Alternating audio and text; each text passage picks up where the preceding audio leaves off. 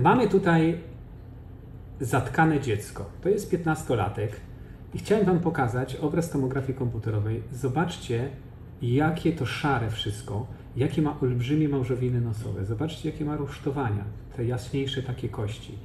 To jest kompletnie jedna wielka szarość, a tu powinno być dużo czarnego, żeby mogło swobodnie przepływać powietrze. Popatrzcie, tu są tylne końce małżowin. Wielkie giganty. Y, I, to dziecko już było po zabiegu y, plastyki małżowin nosowych, ale nie ma efektu, bo dalej jest zatkane. Dlatego my musimy podejść do tego zabiegu inaczej.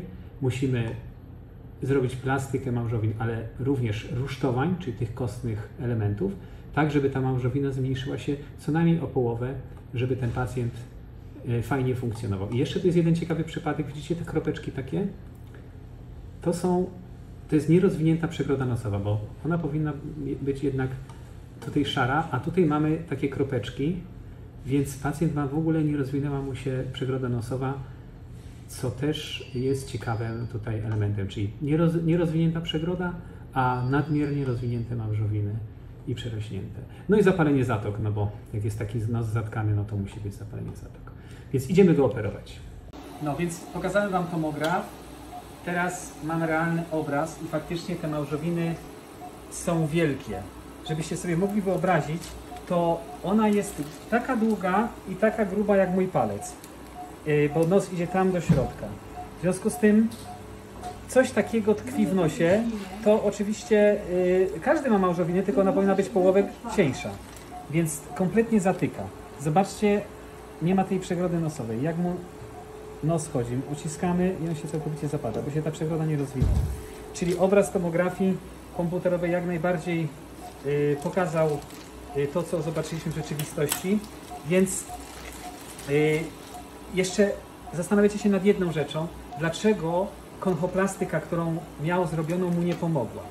Dlatego, że sama konchoplastyka zmniejsza, y, zmniejsza objętość tkanki miękkiej.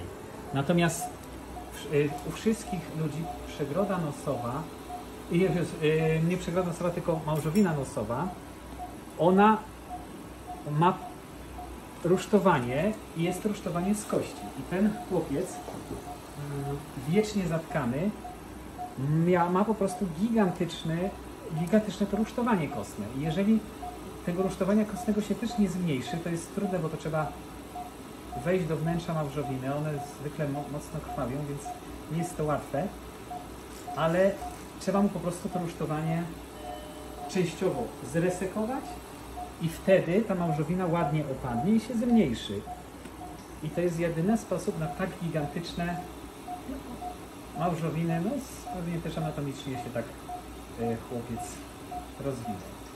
No, także teraz walczę z tymi małżowinami. Zatoki już tutaj wcześniej otworzyłem, ale teraz właśnie największy problem będę miał z tymi małżowinami, bo to rusztowanie kostne nie jest wcale takie łatwe do zoperowania, a on ma je, te rusztowania naprawdę wielkie, twarde i kościste.